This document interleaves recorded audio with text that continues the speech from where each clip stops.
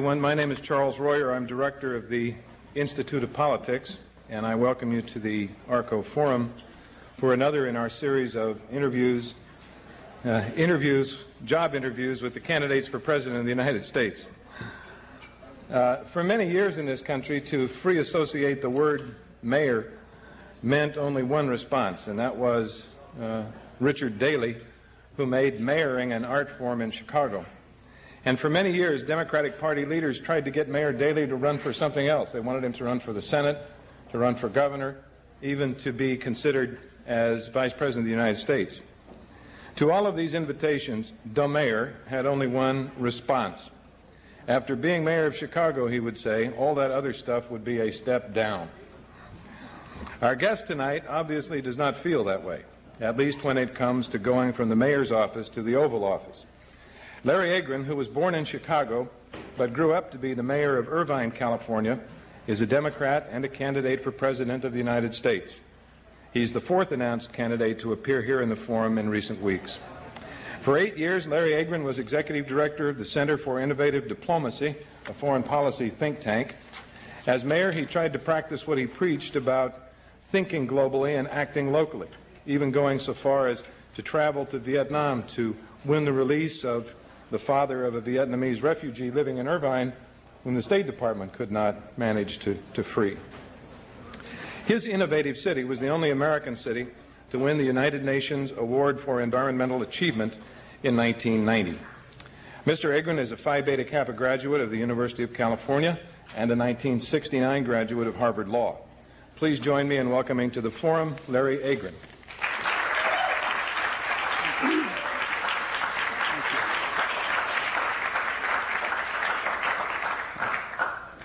Well, thank you very much, uh, Mayor Royer, for that kind introduction. I don't know how many of you know that uh, Charles Royer was one of the distinguished and pioneering mayors during the 1980s, during a time when it was difficult to be mayor of an American city, as it still is. So I think uh, you have among you tonight uh, two former mayors whose pleasure it was to serve at a time of changing national priorities priorities that were changing for the worst. Uh, more about that uh, in just a moment. I had a chance to meet a few of you before tonight's gathering, but um, to many of you I may still be not Larry Agran, but Larry Who. And I thought I'd take a few moments to tell you just a few things about myself. In uh, announcing and having the opportunity to seek the presidency with other candidates of true merit, I've learned a great deal about these other candidates, and some of them have very compelling personal stories. Uh, stories of great trial and hardship as young children, parents who died, uh, an upbringing that was very difficult, people who emerged from impoverished conditions to, uh, in a sense, pull themselves up by their bootstraps and become very effective students, workers, politicians, and candidates for the presidency of the United States. My background is very different. I think I'm a, a, very typical beneficiary, along with tens of millions, hundreds of millions, who were raised in a fundamentally middle class environment in the post World War II period, uh, during a time when our country was investing a lot of time, a lot of money, a lot of talent in seeing to it that our generation had all the opportunities possible. We were great beneficiaries of the best that liberal democratic policymakers had to offer. We benefited from great public school systems. I went to public schools in California at a time when public schools were considered wonderful institutions for learning. We used to, as a matter of fact, in California, proudly boast that our schools were even better than the schools in New York City because theirs were fundamentally terrific schools. I uh, also had my free milk every day provided by the government, a subsidized lunch of one kind or another, and I can't remember all the changing arrangements over the years. My father went to work um, on publicly funded roadways and freeways. Like millions of other children, I was um, inoculated against polio in 1955 a great public health program funded principally by the federal government. I benefited from all those public health and private health programs that directly and indirectly had public support. My grandparents were beneficiaries of Social Security and then Medicare, which eased their concerns about whether or not they would be bankrupted uh, in their final years of life.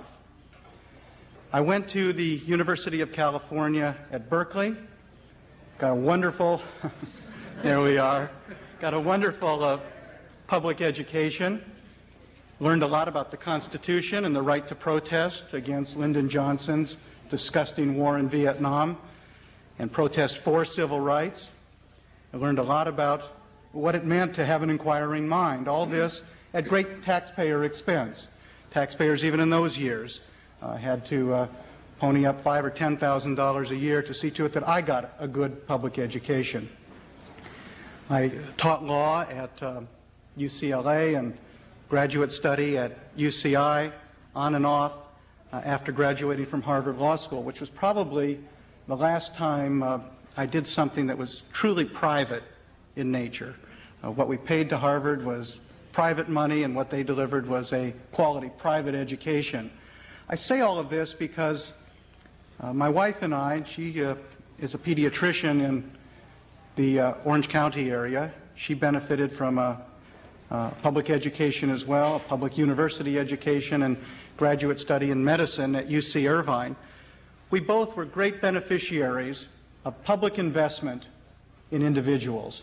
And I'll tell you, coming from Orange County, California, where I'm hearing time and again from people that what we need is to get government off people's backs, if you ask those people what kind of upbringing they had, where they went to school, what kinds of roads they traveled on, uh, where their children are going to school, what kinds of public health programs they benefited from, you add it all up, you begin to see that they are where they are in life, ahead of the game, because people have had the wisdom to invest in them over many, many years. And that's what we really need to do again. Think about public investment in private individuals as a way of bringing our country along into the uh, later 1990s and into the 21st century.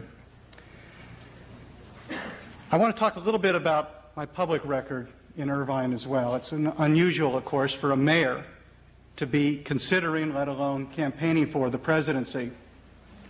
In Irvine, we managed to do a lot of things, a lot of successful things. Irvine's a master plan city of 110,000 people in the heart of conservative, Republican Orange County. And just managing to survive politically, I think, was probably my most, uh, my most stirring achievement over the course of the last uh, 10 years or so. We did things by way of environmental protection, open space preservation, universal availability of child care, innovative transportation systems that we acquired funding for and began to design. We provided for affordable housing. We began to think about urban design in ways that really served the interests of people. We tried and largely succeeded in building an integrated community. What was previously almost an all-white community became a, an integrated community, 25% non-white, and that trend continues, in the heart of conservative Republican Orange County, California. You can uh, leave Irvine and travel just a little bit up the freeway and actually visit with Watergate co-conspirators or visit the uh, library of Richard Nixon, uh, enter in and march down some of the crooked corridors to the greatest, uh, the greatest collection of political fiction in the Western world. And you begin to realize that actually, even in a conservative, right-wing political environment, we can do a lot of things that make a big difference. And I think that's true for the country as a whole as well. Now, in announcing my candidacy, we wanted to do a little research into whether or not former mayors had any right, let alone whether there was any precedent, to uh, run for President of the United States. And uh, our, our, research, although it's still going on, has revealed some interesting things. Uh, first of all, uh, Millard Fillmore, apparently, we don't confirm this yet, but apparently was the former mayor of Buffalo, New York. So there's one precedent. Uh, Grover Cleveland was also the former mayor, and this is uh, confirmed, the former mayor of Buffalo, New York. Now, Buffalo, New York has really been turning out presidential candidates, and I want you to keep that in mind. Uh, Grover Cleveland, interestingly enough, was last elected President of the United States in 1892. So this would be, I think, a wonderful 100th year anniversary, and what a better way to celebrate it than uh, by electing yet another former mayor, President of the United States. We have some more uh, recent precedent, I think that's uh, stirring, however. Uh, Willy Brandt, uh, some of you, I think, are old enough to remember that he was the mayor of Berlin during a time of great international tension and went on from there to become the chancellor of West Germany.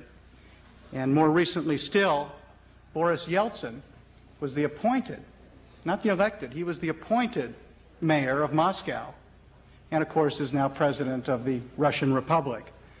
So we do have, I think, a number of useful precedents, uh, contemporary as well as older. Maynard Jackson uh, recently said, and he's the mayor of Atlanta, Maynard Jackson recently said on Meet the Press that he believed the next president of the United States ought to be someone who has been mayor of an American city. And I thought, of course, he was talking about me. I think he was thinking about himself or Ray Flynn. He could have been thinking about Charles Royer. He could have been thinking as well about Anne Rudin, mayor of uh, Sacramento, or James Scheibel, mayor of St. Paul. He could have been thinking about a host of U.S. mayors, present mayors, former mayors, who I believe have something special to offer in the national discourse about what our policies and priorities ought to be in the year 1993 when the next president is sworn in and beyond. I think Maynard Jackson understood, as I understood and want to convey to you tonight, that during the 1980s, we struggled as mayors against national priorities that were perverse and deeply damaging to the interests of this country. As we were struggling to provide for affordable housing, a cleaner environment, as we were struggling to provide for child care, supportive social services, as we were struggling to do all these things locally. At the national level, Washington insiders, politicians, and otherwise were actually working against our interests. They were working against our interests as they massively escalated an arms budget to a point where it was doubled during the course of the early and mid 1980s, reaching the equivalent today of $300 billion per year, where it has remained year after year after year.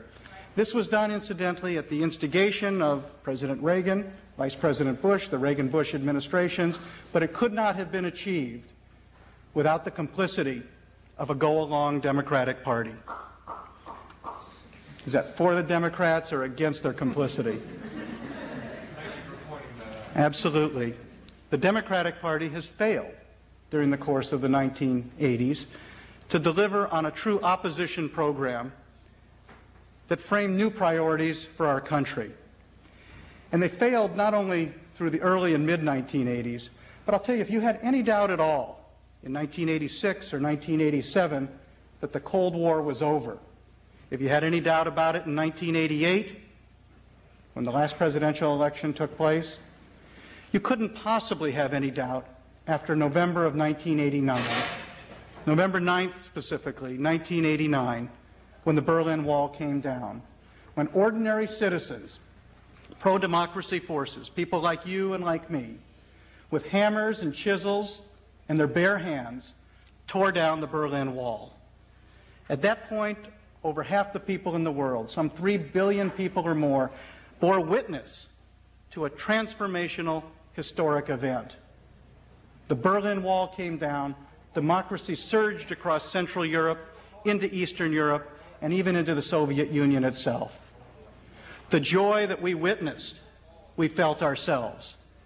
And yet, if you were to examine the federal budget in 1989, in 1990, in 1991, for fiscal year 1992, you would have believed that nothing happened at all.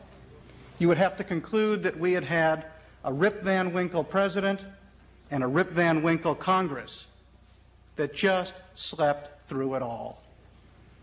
What I want to talk to you about tonight is a new American security built on the reality of the end of the Cold War, built on this historic opportunity to reorganize national priorities in a way that serves the interests of the American people and serves them well. I want to talk to you about what's now an archaic term, apparently, because they've stopped talking about it in Washington a peace dividend. And not a peace dividend of a billion dollars or two billion dollars, but $150 billion a year, fully one half of our military budget, which can safely be cut here and be cut now, now that the Cold War is over.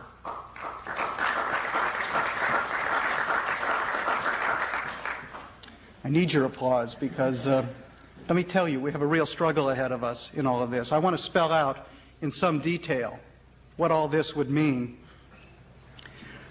I've had a chance to not only meet with, debate with, share a platform with other candidates in the course of this early uh, primary and caucus season that will, of course, uh, quicken as the, as the months wear on.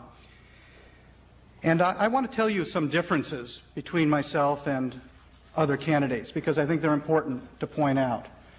Uh, one reason I'm in this race is because I don't think there are voices for cities and towns and for the people who live there. I don't think there are voices in this race prepared to boldly capitalize on the end of the Cold War, prepared to say, yes, hallelujah, it is over. Let's bring the resources home. So, unlike other candidates, I want to spell out specifically how this can be done. First, unlike other candidates, as your president, I would order the immediate withdrawal of all U.S. forces from Western Europe and from Japan, bringing them home no later than by 1994 so that they could put in further service here or be demobilized to the maximum extent possible. It is just absurd on the face of it that when everyone recognizes that we have no further enemy confronting us in Europe or confronting our Japanese allies, that we continue to spend $200 billion per year, fully two thirds of our entire military budget, an average of over $2,000 per American household per year on the defense of Western Europe and Japan. This at a time when the Western European and Japanese economies are surging forward, when their citizens enjoy a quality of life better than our own, largely because they've been under a defense shield provided by the United States, and they've been permitted to rebuild their own societies in a way that we have not done. Now, does that make sense to you? And does it make sense to you that we have a go along Congress that year after year endorses the continuing presence of some 350,000 troops? They talk about cutting them 50,000 here, 50,000 there, phased over a period of years, but authorized 350,000 troops in Western Europe and Japan 50,000 in Japan, 300,000 in Europe. And all the weaponry, all the supplies associated with their deployment. B 2 bombers, that's what we're talking about, to provide some semblance of support for these troops. MX missiles, all the strategic weapon systems, all of those systems can be canceled or otherwise defunded over a period of years. That's the second element of the program. Let's look at these weapons systems. The B 2 bomber. This is the second generation, of course. I oppose the B 1 bomber, which now is not even a flying turkey. It doesn't fly at all. $25 billion in the early 1980s for a B 1 bomber. That would have been enough to set up a housing trust fund to take care of our affordable housing needs in this country for many, many years. $25 billion down the tube, followed by a B 2 bomber. They're still quibbling over whether or not to go ahead with it at a billion dollars an airplane at a time when people are homeless and hungry without adequate health care in this country. $70 billion proposed for the ultimate build out of the B 2. The MX missile, a largely useless system. It has no enemy against which to be fired at this point. Moreover, if it did have an enemy, it's extremely vulnerable because they never figured out a deployment system for it that would work. At one time, they were going to put it on rail cars in the desert of the Southwest. Uh, they had all these schemes, one after the other. They still have a rail garrison system that's on the drawing boards. Uh, we can't get decent transportation for commuters, and we're talking about transportation for guided missiles. All of these systems have to be cut, canceled, including Star Wars, which bears no relationship to any threat of any consequence that we can see today or for the foreseeable future. Five to ten billion dollars a year we spend for Star Wars. Others have said, well, at least we ought to continue the research. My response to that is, when there's enough money for research on cures and therapies for cancer, for AIDS, for cystic fibrosis, for a whole host of diseases that are underfunded by way of research for their conquest and cure, when we have funded them properly, then we can talk about funding, theoretically or otherwise, to send weapons into the heavens, but not before. I would also say that a third step in cutting $150 billion a year from the military budget is to conclude a bilateral and then a multilateral weapons freeze, nuclear weapons freeze, suspend all further nuclear weapons testing, and redirect those resources to domestic purposes as well. In 1963, President Kennedy and his administration, in concert with the Soviets, promised that there would be the quick conclusion of a comprehensive test ban treaty. We wouldn't have simply a ban on atmospheric testing, but all nuclear weapons testing would be ended and ended quickly. This promise was reaffirmed in 1968, and I say it's time, a full generation later, to make good on that promise to the people of the world and to end all nuclear weapons testing forever. Furthermore, there's the question of foreign aid, foreign military aid. More than two thirds of our foreign aid budget is military assistance, and most of it, of the $10 billion or so in foreign military aid, goes to dictators, historically to the Iraqis, to the Panamanians, to one junta after another in El Salvador. The money we send, the weapons they buy, ultimately those weapons are used to oppress their own people, to menace their neighbors, or even to kill American citizens. And it just makes no sense whatsoever, I think, that any fundamental element of our foreign aid program ought to be foreign military aid. We ought to be sending agricultural assistance, educational assistance, humanitarian assistance, food, medicine. These are the building blocks of democracy. These are the elements that ought to bear the label made in the USA, not the weapons that we have been sending.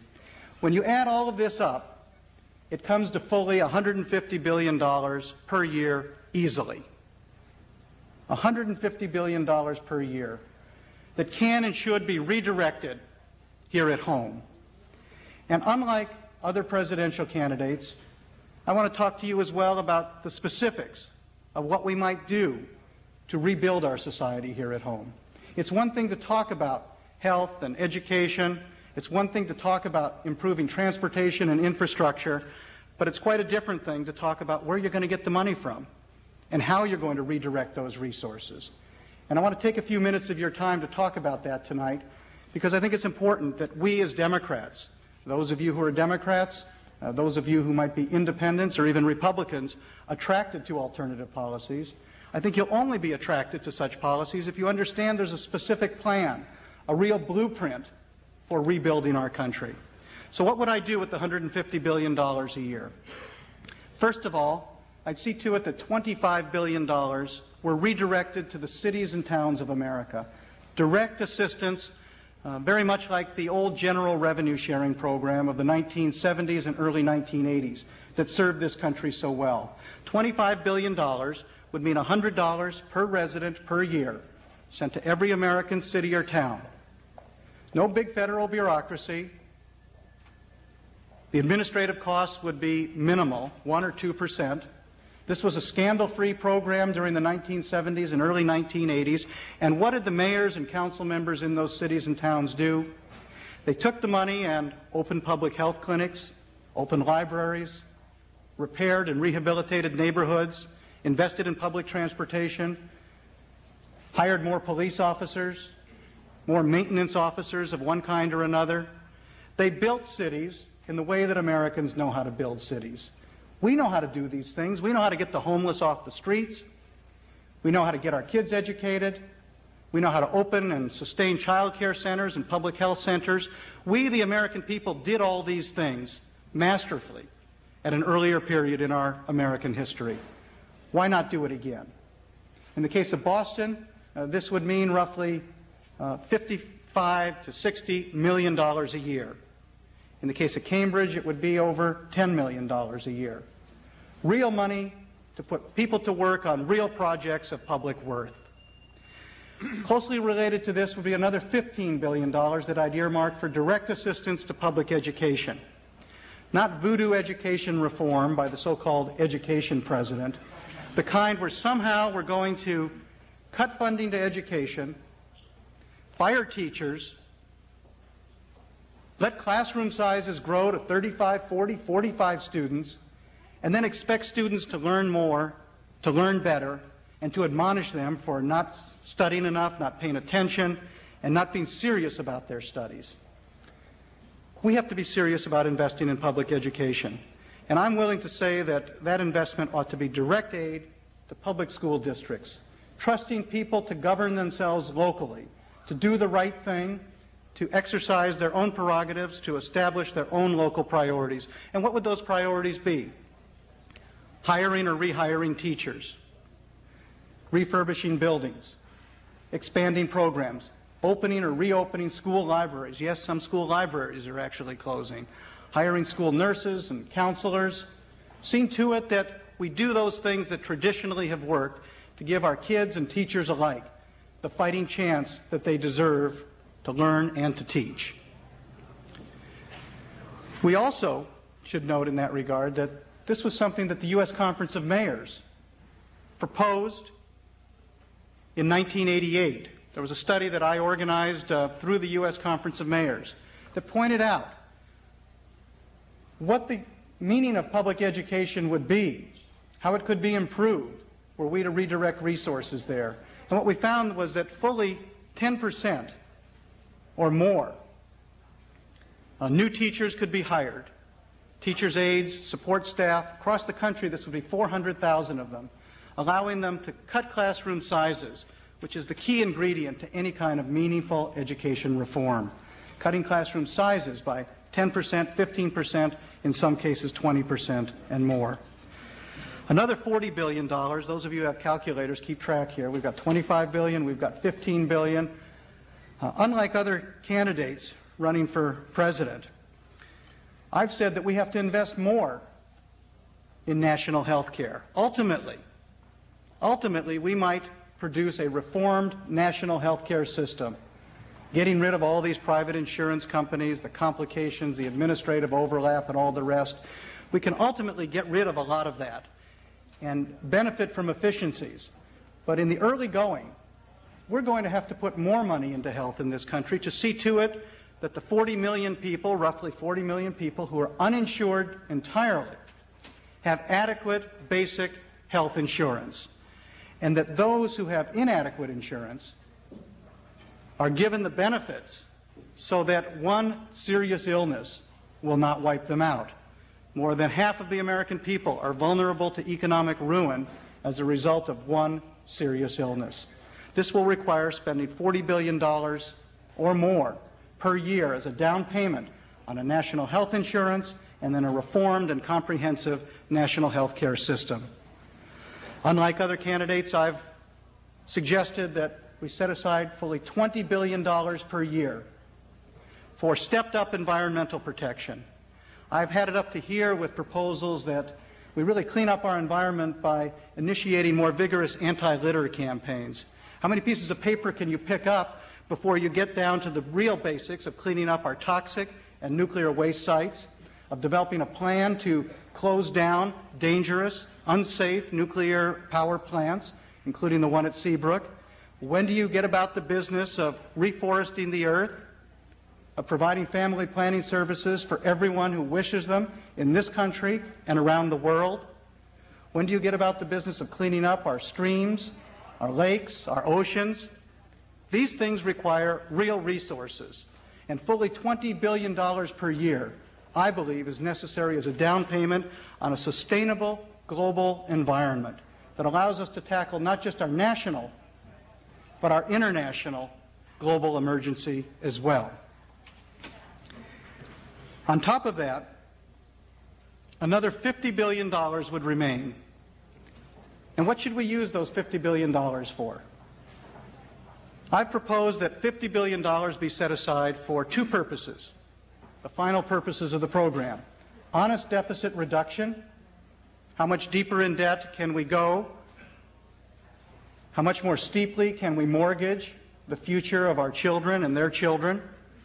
If we don't begin to eat into this deficit in a serious way with at least a serious down payment, we will have, I think, failed future generations.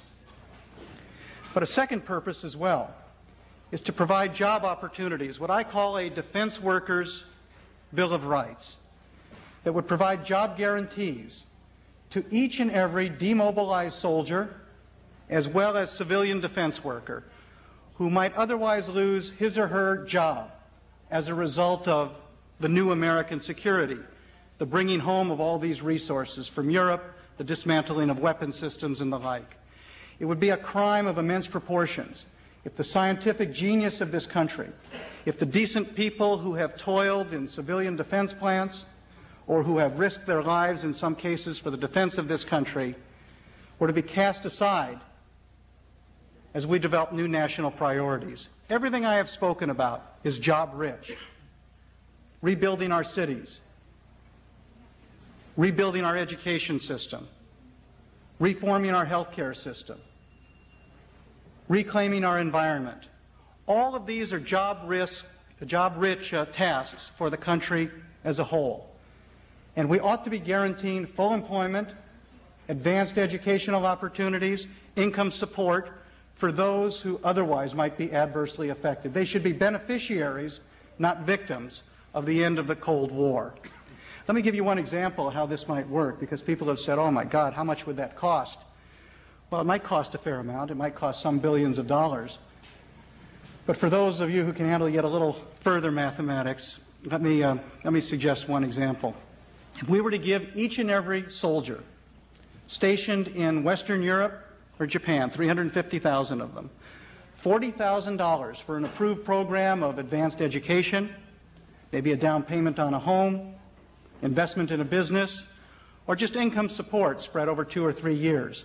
If we were to give each and every one of those soldiers $40,000, the total cost would be $14 billion, which is roughly what we spend in just one month on the defense of Western Europe and Japan. So you begin to see the conversion possibilities that are at hand here, and you begin to see the energy rich resources that might be developed, bringing people home to go to work on energy efficient systems, uh, not relying on them to uh, stretch us militarily to defend uh, pipelines in the Middle East and elsewhere, but to actually bring these people home and put them to work on the tasks here at home. Now, there's some question as to whether or not we're going to, through this campaign or otherwise, get from here to there. I'll tell you, if you listen to what comes out of Washington, D.C., you don't hear anything at all that is bold, that is visionary about what might be done now that the Cold War is over. The best proposal we had was Senator Tom Harkin, who proposed in the United States Senate that $3 billion $3 billion be cut from the military budget and redirected to Head Start and other programs of social and educational support in this country. It was defeated in the Senate by the Republicans and by half of the Democrats as well. They didn't want to mess around with the budget deal, they said. The budget deal that calls for continuing $300 billion per year military budgets. Now, what kind of a deal is that? Two years after the Berlin Wall has come down, after the whole world has changed, when we're presented with dramatic new opportunities. I say it's time to bust the budget deal, and it's time to talk about and do, politically and otherwise, what has to be done to cut the military budget in half. That ought to be the Democratic program in 1992. If we don't have a program of that character, we have nothing to offer the American people. Because the grim reality is there are only two ways, only two ways of healing this country and restoring it again. Raising taxes by 150, 200, 250 billion dollars per year, something that no politician is going to propose in this or any uh, near-term election year. or cutting the military budget, taking advantage of an historic opportunity and bringing those resources home. Those who are arguing for slow, gradual reductions in the military budget are missing the point. Martin Luther King Jr., regarding uh, the tasks of integration of our society, said that gradualism was an addiction and that we ought not to be addicted to it. That it was a drug. And he urged the American people to reject what he called the tranquilizing drug of gradualism. We have to reject the tranquilizing drug of slow reductions in the military budget. We have to do that because there is no other way to reorganize our national resources and begin to heal this country. Finally, before taking questions from you, I want to uh, point out that one of the wonderful opportunities as a candidate is to be able to talk with many American people and to be able to, in your own mind, conceptualize what this country is about and what its future ought to be about. And people will tell you nowadays that things are so complicated, so difficult, uh, that uh, we really don't have it within ourselves to govern in such a complex society, to govern ourselves. We have to leave it to experts in Washington, D.C. Certainly when it comes to foreign and military policy, we, the American people, don't know anything. It's Ollie North and his kind who know everything. This is nonsense. And I'll tell you, this was uh, really brought home to me when flying across the country as I have time and again. You look down from 35,000 feet and you see the country and you see what it's made of. And what do you see? You see the vast open space, the rich natural resources of this country, forests and streams, large rivers, lakes, desert, canyons. You see it all in its magnificence. And then you see acre after acre, thousands, millions of acres of farmland. Small farms for the most part, large farms as well. And you understand that the country's made up of farms. Of course it is. And then you see as well cities and towns. Not vast cities, but mostly smaller cities. Smaller cities, smaller towns. And while you can't see them, you know, of course, that the American people live there. And the real tasks before this country are to protect the open space, the beautiful wilderness, the natural land, to see to it that our farms are healthy, and that as they feed us, they feed the world as well, and to see to it that our cities and our towns, the schools within them, are healthy institutions, and that the people who live there, most of all, are living in relative harmony, working out their problems, enjoying a quality of life that is improving rather than in decline. These are the great tasks before us, and they really are the tasks of self-government. We have to figure out how to do these things. Our problems are not so complex that we can't figure these things out ourselves. But we have to have faith that we can do it. And that's what this election is all about.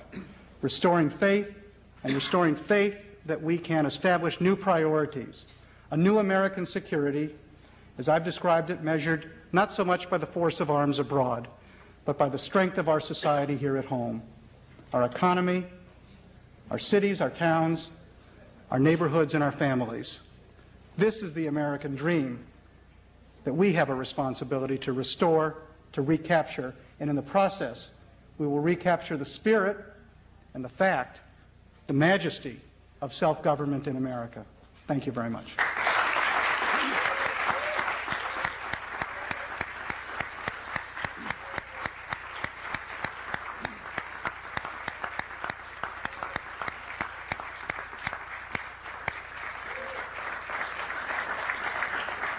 Thank you, Larry.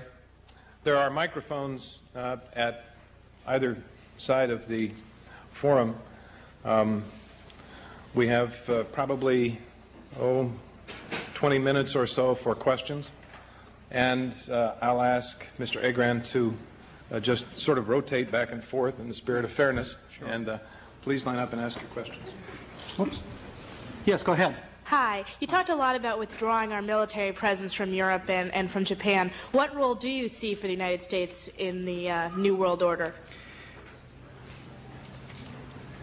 Uh, first of all, I don't like the term New World Order because it seems to be whatever George Bush says it is on one day after another during the week.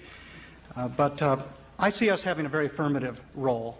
The world has terrible problems. We need an affirmative foreign policy that is fundamentally built on a strong domestic economy. A strong domestic economy that allows us to compete and cooperate, I might add, on uh, trade, on matters of environmental protection, on relief of third world debt, on dealing with the terrible population problems around the world and in our own country. These are global problems that require global cooperation. I think the one thing that came out of the Persian Gulf War that might be a redeeming feature is the fact that the United Nations could possibly be reactivated as an institution that had real peacekeeping authority and a real military capacity, a defensive military capacity that could substitute for the kind of ad hoc U.S. interventionism that, uh, over the long course of history, serves this country very poorly. So I think there are many things that we can do in a positive sense, but it begins with a strong domestic economy so that we can cooperate effectively elsewhere. You know, uh, one of the reasons we aren't rushing humanitarian assistance to Eastern European democracies, to the Soviet Union, we keep extracting one thing after another. They've got to show more democracy. They've got to reduce their military expenditures. They've got to do this. They've got to do that. One reason we can't send anything is we don't have anything to send. We've spent it all. I would uh, suggest that one thing we might do is use our military presence, our continuing military presence in Western Europe, to make an arrangement with the Eastern Europeans and with the Soviets to deliver supplies, the food that we can grow, humanitarian assistance uh, to see to it that this winter people don't freeze to death and don't starve to death. We need post Cold War policies that are rich in humanitarian assistance and that are really constructive in building a different kind of world. And that's very different from resorting to military presence as a, a first resort rather than as a last resort. I, th- I think you may be some sort of subversive. The things you're saying make too much sense.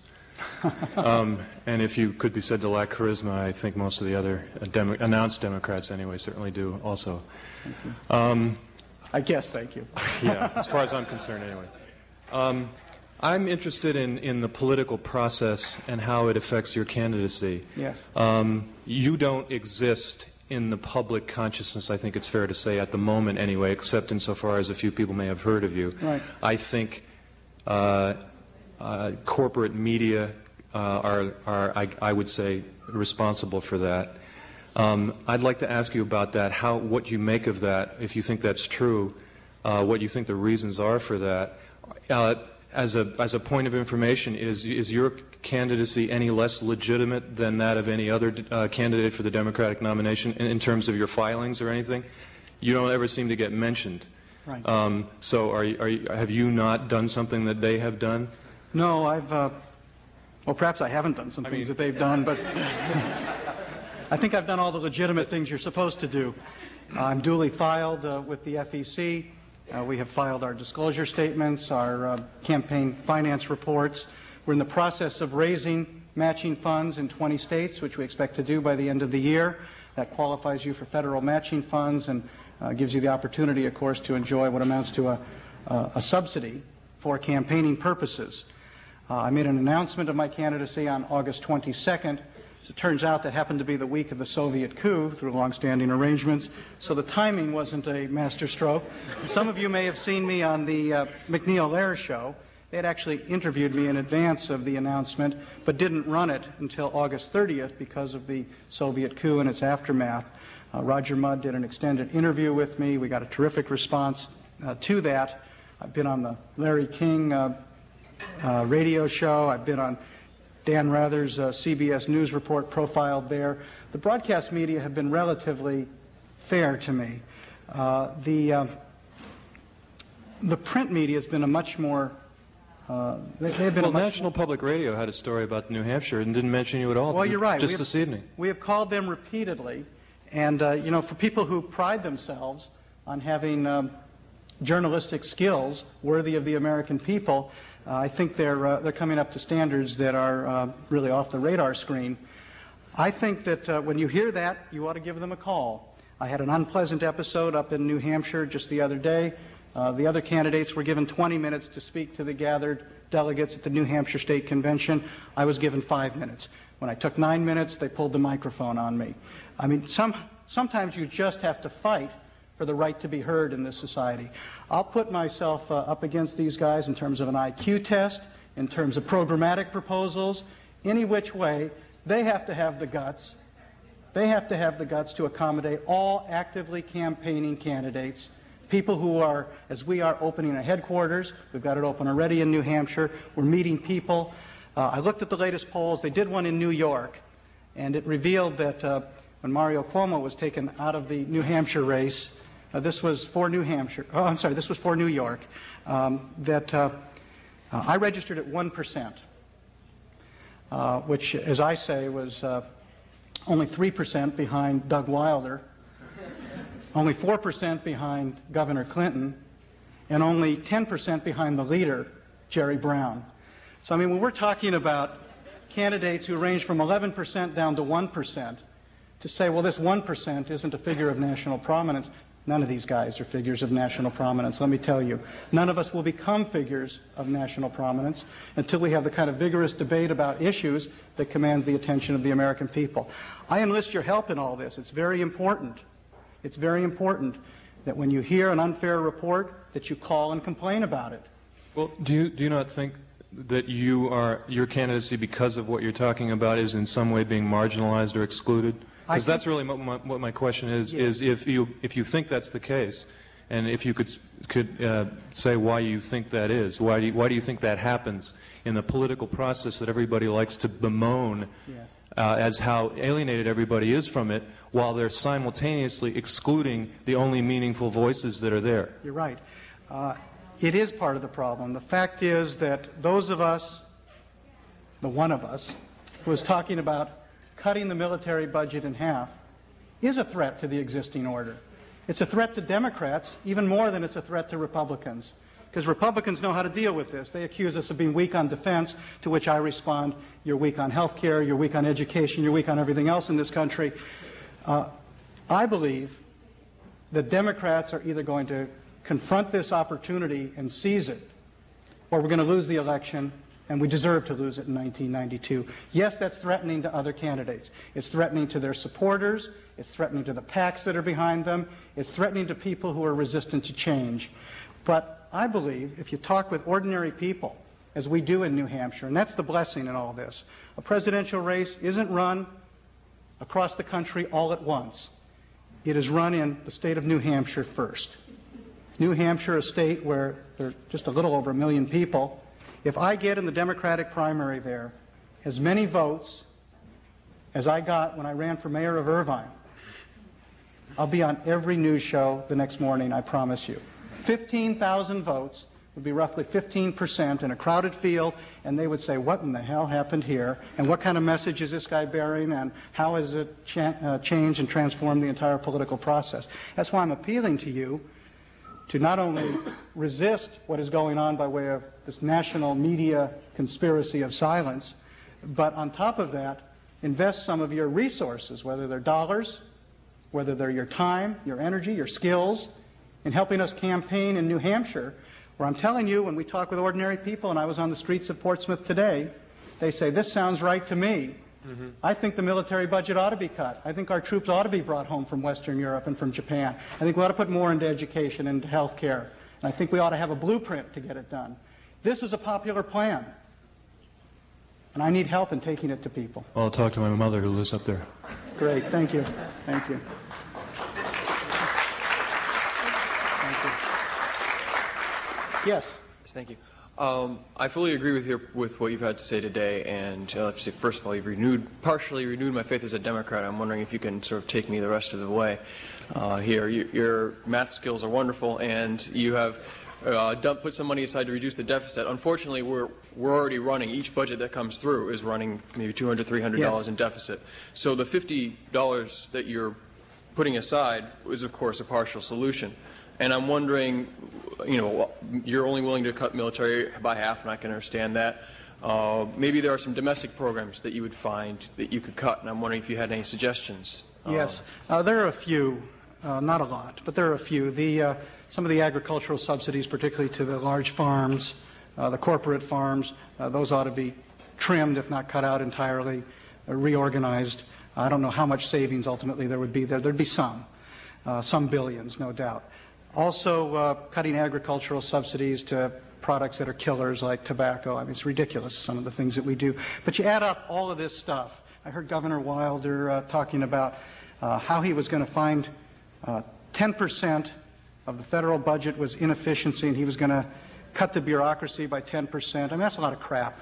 I've heard that stuff over and over again about how you're going you're going to pay for everything by firing people who are there doing their jobs, trying to institute and put in place, and affect the, uh, the programs that are so important to people. Uh, you can effectuate some real savings in, uh, in programmatic changes. $5 billion, $10 billion, maybe $15 billion a year. That's not going to make a real dent in the deficit either. Uh, people who ask, it's funny, they don't ask other candidates how they're going to pay for all these things. When I offer a proposal, you know, how we're going to pay for this, and then we're going to make inroads on the deficit, then the response is usually not as uh, deferential as the way you asked the question. Well, geez, we're in so much deficit. What's 50 billion as compared to 250 or 300 billion? You say, well, you know, it's a start. It's an important start. But it's a start in another way, too. It's a start not just with dollars, but in building confidence. See, people have so little confidence in government and in our ability to govern ourselves now. That we have to reignite that confidence. And how do we do it? We change the priorities. We begin to see some improvements improvements in our cities, improvements in our towns, improvements in our schools. Healthcare is suddenly getting better rather than in decline. The environment is actually beginning to turn around. All this stuff begins to happen. Then at that point, I think you can go to the American people and you say, you know, we need further revenues to do more things that will benefit this country. We need, for example, to tax millionaires so as to provide tax relief for people at the low end of the economic ladder.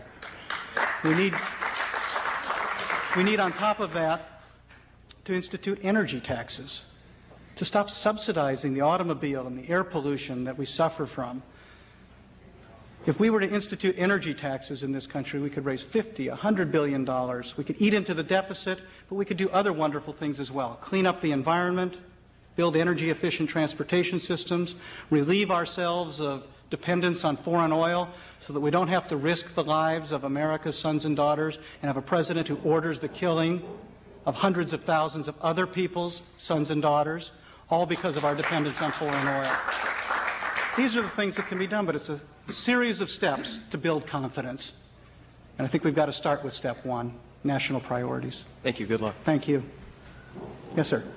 Um, yes, I have a two-part question. Uh, first of all, um, uh, you mentioned that you're a, a mayor of a city uh, and you have all these plans to improve our cities.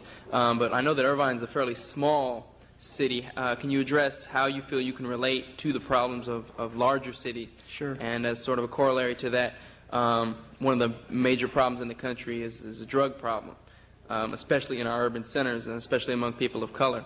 And I'm curious as to, uh, well, you haven't mentioned anything about it. Do you have any plans to do anything about it? You say you're, you're sick of problems like pick, pick up litter for the environment. Um, do you have any, are, are you sick of, of just say no or programs like this and what, what do you intend to do? Yes. Let me say in defense of myself and our city, we have some people here who are from Irvine, California. If you've walked precincts out there, you know it's a pretty big city. And uh, it's a city of 110,000 people, which I've pointed out is, um, the, would be the largest city in population in New Hampshire. And it uh, actually is one of the 200 largest cities in the country. There's this notion um, that America is made up of huge cities from coast to coast. And actually, cities uh, over a million people, very few cities uh, of that size. Most cities, uh, you know, they drop quickly down to 500,000, 200,000, 100,000, and 98% of all American cities are cities of under 100,000 people. So it's a sizable community. Um, it's a, an unusual community in that we are blessed with natural and material resources, a generally affluent population, but we've worked very hard to overcome a lot of problems, including the lack of affordable housing. We worked hard to build an integrated community that's 25% non-white now when it was uh, less than 10% non-white uh, just uh, 10 or 12 or 15 years ago. Uh, this, this is a result of hard work and a vision about what the city ought to be and how people ought to relate to one another within that city. We have had um, problems of homelessness in our own communities, certainly in adjacent communities. We've had problems even of hunger.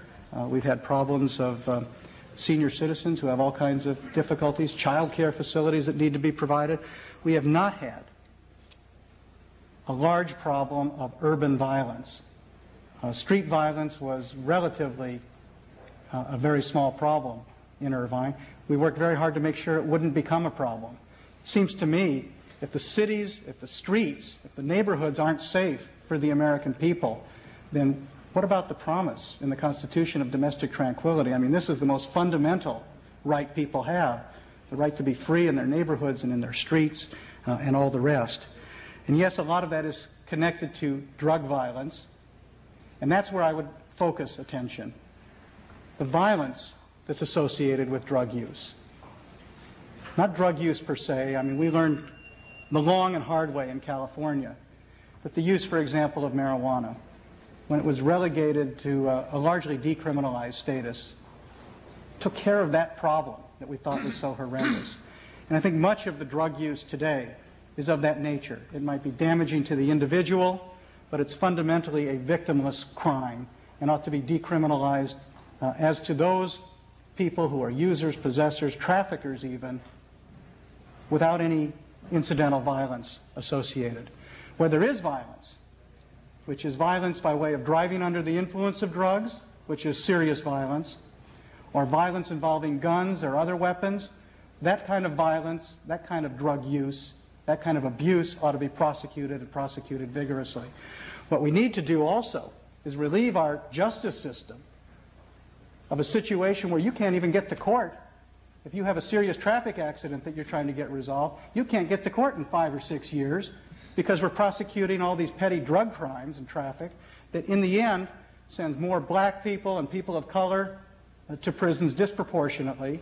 It's a further form of institutional racism, I believe, and it has to be seen as such. We have to junk our existing policy, our so-called drug war, as an absolute failure. Almost everybody ought to be in accord that it's an absolute failure. Now, I don't know for sure, I don't know for sure what the answers are, but I know that we've got to move from the system we have now to a different kind of system. One of the things that we have had over the years is this sort of bounty whereby police officers nailing somebody for drug possession uh, can then get the benefit of property that's seized and so forth and use that for further police officers to sort of reinforce this go get 'em attitude, which more often than not focuses on the wrong people and the wrong kind of uh, drug abuse. I would say that uh, what we ought to do instead is when there are seizures of that sort, put it into education, put it into treatment, and begin to deal with that end of the problem with uh, solutions that are constructive of that sort. Uh, finally, I would just say that uh, what we need to do uh, is call upon Mayor Schmoke, Kurt Schmoke of Baltimore, and others who have had the courage as former prosecutors and uh, as people who have dealt with this problem to get them together and acknowledge to the public, to the American people, to the world at large, that our war on drugs has been an abysmal failure. And we're going to bring together the best minds, and we're going to use our federal system in the most creative ways to try harm reduction programs here and there and elsewhere and see what works and build an anti-drug policy that will ultimately serve the interests of the American people. Yes. Yes. In your efforts to more effectively use revenues, would you consider means testing Social Security so that rather being an entitlement to rich and poor alike, it would serve more effectively as an insurance to those who actually are in need during their old age? I'm a little uneasy about means testing because it's kind of a violation of a, a promise that was made a long time ago. One of the nice things about Social Security is its sort of universal possibilities. Begins to level the benefits, rich and poor. Uh, it is very regressive on the taxing end, and I think the focus needs to be there. This idea that uh, we only tax uh, a certain percentage, uh, rather, we only tax a, a, certain number of thousands of dollars, I think $56,000, and beyond that, there's no tax at all, is highly regressive as a taxing scheme. So I would say lifting the ceiling makes a lot of sense. Lowering the taxes, the payroll taxes paid by ordinary citizens, hardworking people who are sweating it out to earn twenty or twenty-five or thirty thousand dollars a year, that ought to be undertaken. So I think the taxing mechanism ought to be changed. I'm a little uh, leery about uh, paying out benefits because uh, uh, on a, a means-tested basis, I'll tell you what I would rather explore is a wealth tax in this country. I've thought about a little bit uh, what I call a 1% 1% tax. Uh, a 1% wealth tax on the 1% wealthiest people in the country. Now, I haven't, I haven't done all the numbers on it, but uh, my uh, belief is that we would be raising 40 to 50 billion dollars a year that way. Because people who are wealthy, really wealthy, are really, really wealthy. And taking 1% of that a year, after all, they get a 10% return on whatever wealth they've got anyway, for the most part. Taking 1% of that a year, I think would be an ideal way of beginning to redirect uh, the resources of this country from top to bottom and make things more fair. After all, these are the people who got rich through all the schemes and crooked operations of the uh, 1980s. And it's fair, I think, to go after them as a matter of tax fairness and as a matter of uh, justice in our society. So I think, uh, I think that merits looking at. Um, and uh, we, we plan to look at that in some detail. Yes. I wanted to get back to the, um, uh, the issue of the budget deficit. Now, last year, our budget deficit was about $350 billion. Um, we spent about $300 billion on defense. So it doesn't take a genius to figure out if we didn't spend a dime on defense, we'd still have a budget deficit left over. Now, the, I guess my question is I've heard you uh, talk about reducing the deficit on the margins, you know, $50 billion from defense cuts and $50 from a tax on the $50 billion on a tax on the wealthy. But it's still not adding up, and, and this deficit's still there. Now, my question is there's one of three ways to reduce that deficit. You either got to uh, cut the budget, you've got to raise taxes, or you've got to somehow get the economy growing so that you grow out of that, that budget deficit. And, and what's going to be your approach to make up that, that remainder? Well, first of all, if we did bring home $150 billion a year as we move through the economic transition, we would have a much more productive economy. I don't want to overstate this, but it would seem to me it would generate easily 25 to 50 billion dollars in additional revenues because people working here would be uh, producing here, purchasing here, job intensive kinds of activities, rebuilding our infrastructure and the like. These things generate additional taxes, additional revenues. Um, I think I've been fairly forthcoming. Uh, talking about energy taxes that could be 50 to 100 billion dollars over time, uh, 50 to 100 billion dollars per year. We're talking about wealth taxes, could be 40 to 50 billion. 50 billion in saving that I referred to uh, initially. Um, come on, where are the other guys? That's what we've been trying to figure out All for right. the last 10 years. All right, and and I, I just think uh, I just think uh, as you question me about this, you have to question the other candidates as well and question them hard. And don't let them say, as they do, well, we, we think the, uh, the military budget is going to be coming down, and as it does, we'll do this and we'll do that and so forth. And they're very general. Very, very general. And I think you've got to question them about the specifics. I mean, we know how to tax people. When I asked Joe Kennedy here Monday Yes. if he would support a 50% reduction in military spending, he said, well, we can't disarm. I know. These guys, I'll tell you, uh, inside the Beltway, there's a disease. There's a disease there.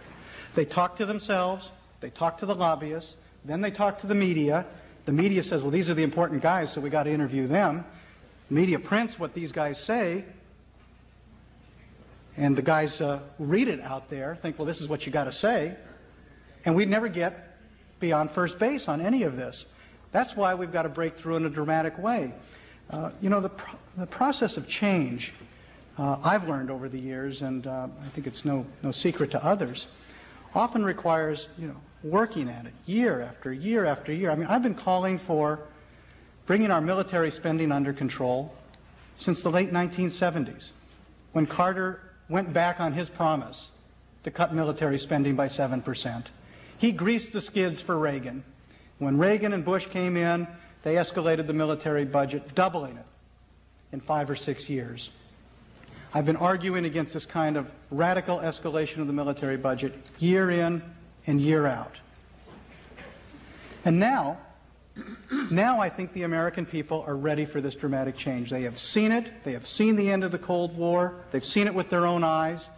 They know that if we have new national leadership, we can bring about dramatic change. But the old dinosaurs are still in charge. And we have to demonstrate, we the people, that something different is afoot out there. And what better place to demonstrate it than in a New Hampshire primary where an unknown or little known former mayor with a precise program of how to do some of these things gets 10% of the vote or 15% of the vote. Let's shock this society into the belief that we can establish new priorities for ourselves. That's what this campaign ought to be all about. It's not real complicated.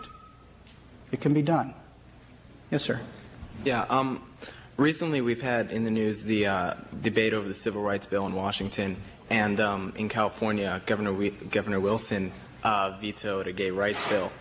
What would you do to protect civil rights of um, of minorities and gays in America? I hope you have a chance to read the pamphlet that uh, we've distributed in my biography. Um, well, that's the, that's a spe- the announcement speech I gave on the day that Gorbachev came back to work. That's my announcement speech. Somehow they covered his speech and not mine. I don't know why. But anyway, the uh, little pamphlet uh, has a biography about me and things that we've done in Irvine. And one of the things that we did was adopt an ordinance. Mind you, this is in Republican, conservative, right wing Orange County, two and a half to one. Republicans outnumber Democrats, and they aren't nice Republicans either, not like some of the liberal ones back here. They're tough, angry Republicans who hate Democrats and certainly hate liberal Democrats. But what did we do? We adopted an ordinance, a human rights ordinance, that bars discrimination in housing, in jobs, in public uh, accommodations and access to public services on all the traditional bases race, color, national origin, sex, disability, but also sexual orientation. We adopted that ordinance, and uh, it was in law for more than a year. And some citizens organized. Citizens organized a uh, uh, an initiative to repeal that provision that uh, protected gays and lesbians from discrimination. It protected uh, straight people as well from discrimination on the basis of sexual orientation. It was a very narrow, very bitter vote. Uh, it was a bitter defeat. We lost by just uh, three or four percent. Uh, we worked as hard as we could, but to this day, I'm as committed as I've ever been on this issue because I'll tell you, this is the cutting edge of civil rights. Uh, in that campaign, I learned a great deal. One, one of the things I learned is that you can't segment your commitment to civil rights. I'll tell you, there are lots of gays and lesbians in Orange County who hate blacks. And I would get them together in a room and I would say, look, I'm not in this unless we're in this for civil rights for everybody, for women, for gays, for lesbians, for blacks, for people of color. And that's why we need a national civil rights law and state civil rights laws that extend protection to everybody against invidious discrimination. That's the way we build a community of harmony. And that's also the way that I think we uh, win back the White House on this issue of civil rights. Instead of being so nervous about it, running away from it, we need to remind people of what the great idea of civil rights is. You know, living in some measure of harmony, recognizing the worth of each and every one of us. And I think then it restores the, the positive impression that people have about the civil rights struggle that took place in this country. And when President Bush uh, runs a, a racist policy or a racist campaign, when he talks about quotas or sends up a clearly unqualified candidate uh, to the Supreme Court uh, on the basis of race, when he does all this to try to drive a wedge in the American people, uh, when he does Willie Horton style commercial, we need Democrats who will come out and say that this is a president who is practicing racist politics, pure and simple.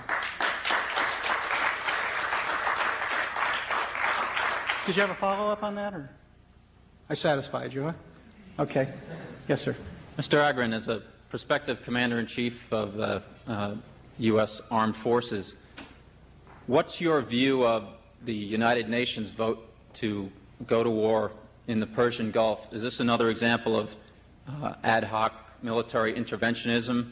Uh, and what do you see as the forces in the world that uh, can be justifiably opposed militarily and uh, in your tenure, if you were elected in the next four years, recognizing that a lot of that force would be the force of the United States? Yes. I think there might have been a case made after three or four or five years for the use of force to reverse the Iraqi aggression. I think if you're serious about economic sanctions, you have to be patient. After all, no one was rushing to resort to military force to uh, deal with the problems in South Africa when those sanctions didn't work the first year, the second year, the third year, and beyond. Sanctions take time. I think they would have worked here. Uh, but whether they would have or not, I want to remind you that President Bush, not I, President Bush said when the United Nations adopted a resolution imposing economic sanctions and enforcing those sanctions through military presence. President Bush said that this represented a wonderful day in world history, a day in which, other than violent means, would be used to reverse aggression, that the world community was united. And it was just a matter of a few months after that that we then uh, interposed offensive forces. We took our defensive forces, transformed them into offensive forces, and of course, you know the history after that. Shortly after that, uh, went to war. 200,000 people dead? The Persian Gulf destroyed environmentally? Refugees fleeing by the millions? Restoration of an anti Semitic, anti democratic regime that makes a mockery of human rights? This is victory? This is foreign policy success? Was anything gained? I think all that was gained was the reversal of the aggression, which is very important. But it could have been gained by other means, I submit. And uh, certainly it could have been gained by means that uh, over time would not have cost as many lives. I believe that firmly. There are instances. I'll take this as the last uh, question. Hi. Um, at a time that we are experiencing record high unemployment, what kind of jobs are you going to offer United States service people when they come back? You're, you're talking about firing actually firing hundreds of thousands of people, and what kind of jobs are you're going to give them. There aren't even jobs for people who are unemployed here now. Well, in fact, there are jobs to be done, useful jobs to be done. Not make work, but work that makes sense. Let me describe some of these possibilities. Demobilized uh, soldiers and sailors and the like, uh, they could be employed in either the civilian sector or they could remain in the military for that matter under special contractual arrangements uh, to deal with problems of uh, militarily caused toxic waste. We have toxic waste cleanup that's going to keep this country busy, thousands, hundreds of thousands of people busy for decades. Under our own city in Irvine, there's a toxic plume from a nearby military base that qualified us for Superfund status. Hooray. We qualified for Superfund status, but it'll be years before we get any effective action to clean it up. People can be put to work on that to the extent that they have technical skills. They also can be put to work on disaster relief around the world. Why is it every time that there's a typhoon, we have 800 phone numbers on TV and call 900 and come down to the local fire station to give some cans and some food and some blankets? Why don't we use our airlift capacity, our great military capacity, to provide humanitarian relief? We can count on one of these disasters um, once, twice, three times a year. These, uh, uh, these uh, purposes would be extremely valuable. Also, uh, I'll tell you, sending people back to school is a proven, effective way of creating human resources that will serve this country long into the future. What's wrong with sending somebody back to the classroom? And paying them to go back to the classroom. They become a very valuable employee? What's wrong with hiring them, using their skills to do uh, the rebuilding chores in our cities and in our towns? You know, it was a funny thing uh, when the when the uh, Persian Gulf War uh, and the buildup to it was underway. I was struck by the fact that we were able to erect whole cities almost overnight. 500,000 people were being housed in what was previously uh, in, uh, uh, uninhabited and uh, uninhabitable desert. And we made it all work. Why can't we do that at home? Why can't we provide decent emergency shelter here at home? It requires a lot of work. It's constructive work. It benefits our society. There's no end to the work that can be done. You have a follow-up on Yeah, that? Yeah. Who is going to pay these people? It's still, the government will still pay them. They Is that could. what you're saying? It could be paid. So how would that cut the budget? Well, let me tell you one thing I would, them. well, one thing I would suggest is that the money that goes back to cities and towns, if a city has a terrible problem with homelessness, as most major cities do, and they want to provide decent emergency shelter, why not take some of the money, some of the many, many millions of dollars that would be returned to American cities, why not the money that's returned here to Boston, take that money, contract with the Army if you want, or if these people are demobilized with civilian defense workers uh, to build emergency shelter. It's our money, just a question of recirculating it, directing it here at home instead of directing it abroad. Why provide housing for troops in Western Europe instead of providing housing for American citizens here on the streets of America? I just think it's sort of a common sense approach to how we can have people who have great skills working here at home to rebuild this society. We've been so programmed to think that that's not possible that we've got to overcome that despair and cynicism as the first step in dealing with all the problems that we face. Let me take a moment here, if I've uh, satisfactorily answered that, to wrap up. Okay, I just want to ask those of you who are interested to help us in this campaign. Uh, by help us, I mean get involved. Uh, if you're persuaded that my candidacy makes sense, that you'd like to back it, I invite you, I implore you to sign up in the back, take more literature, indicate your interest. If your interest, on the other hand, is for another candidate, great. Go support that candidate. But if you make a choice, uh, make a conscious choice about candidates, and if you're deciding that, well, I don't think I'm going to do anything, make sure you understand that's a conscious choice as well. It's a choice that says that you don't believe that there's anything that you can do this time around that will make a difference, or is that wor- or is that uh, worth your investing your time, your effort, your dollars. I would also implore some of you who are maybe uh, dollar rich but time poor. We are qualifying in state after state. Part of the 20 state uh, requirement requires us to raise $5,000 in one state after another. And um, Massachusetts is one of the targeted states. We've raised some of the money, but not all of it. Uh, the first political contribution you make uh, may be your best. And uh, I remember in 1972, my wife and I gave first $25 to George McGovern, then $50. By the time it was all over, we gave $300 to George McGovern at a time when dollars were really dollars. I don't ask you to do that, but you might consider putting in $5 or $10, putting in 5 hours or 10 hours. One thing I'll tell you, on the streets of Portsmouth, New Hampshire, and Manchester and Concord, if you haven't uh, already rediscovered the possibilities of self-government in America, you can rediscover that possibility through this campaign. So please consider it. Please be a part of it if you're inclined. And in any case, uh, be a part of the uh, rebuilding of our American society. Thank you very much.